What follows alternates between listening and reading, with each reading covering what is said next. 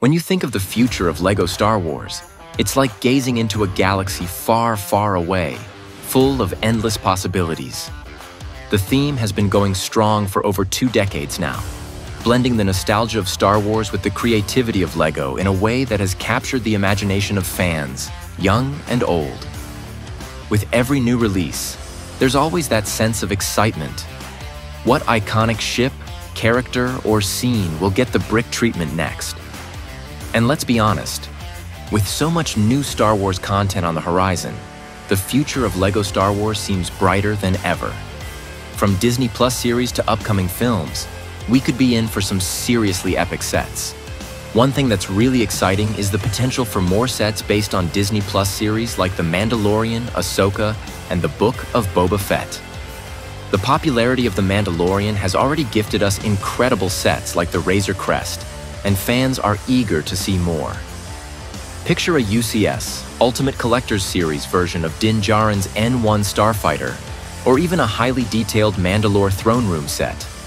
With Ahsoka bringing back fan-favorite characters like Sabine Wren and Grand Admiral Thrawn, it feels inevitable that LEGO will jump at the chance to create sets featuring those key figures. Could we be seeing a Ghost or Chimera set in the near future? I'd say it's a pretty good bet. And then, there's the tantalizing idea of LEGO taking on future Star Wars movies.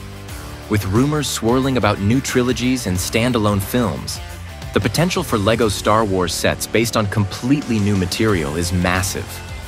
We know that LEGO loves to release sets ahead of big movie debuts. And while we don't have concrete details yet, it wouldn't be surprising to see sets featuring new characters, planets, and vehicles as the Star Wars cinematic universe expands.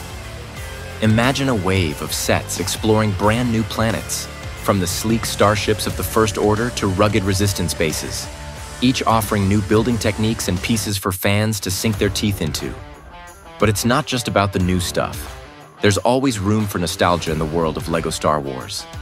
One of the most exciting trends we've seen recently is the return of classic sets, reimagined for a modern audience. Sets like the revamped AT-AT or the recent UCS Millennium Falcon are prime examples of LEGO tapping into the older fan base while still keeping things fresh for newer builders.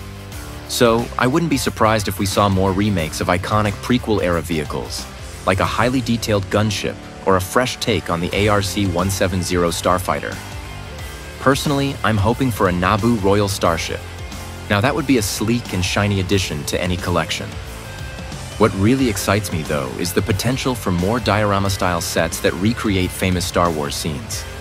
LEGO has been testing the waters with these, and I think they're onto something.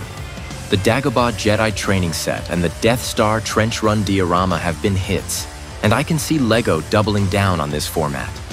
Imagine a diorama of Anakin and Obi-Wan's duel on Mustafar, or Luke's showdown with the Rancor in Jabba's palace. These smaller, detailed sets offer a different kind of building experience, focused more on the moment and atmosphere rather than just vehicles and minifigures. Of course, LEGO Star Wars wouldn't be complete without minifigures. The speculation around which new characters will be immortalized in minifigure form is almost as exciting as the sets themselves. With characters like Bo-Katan, Cad Bane, and Ahsoka becoming more prominent in the Star Wars universe, it's likely we'll see more detailed versions of them in the near future.